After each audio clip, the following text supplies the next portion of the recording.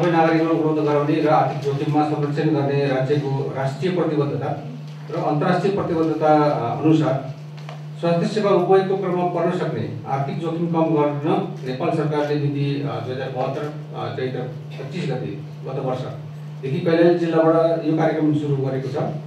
हाल यो आठवटा जिल्लामा एक वर्षको दौरानमा बागलुङ इलाम बैतडी अछाम पाल्पा घाइटी कास्की र कैलालीमा सञ्चालनमा रहेको छ।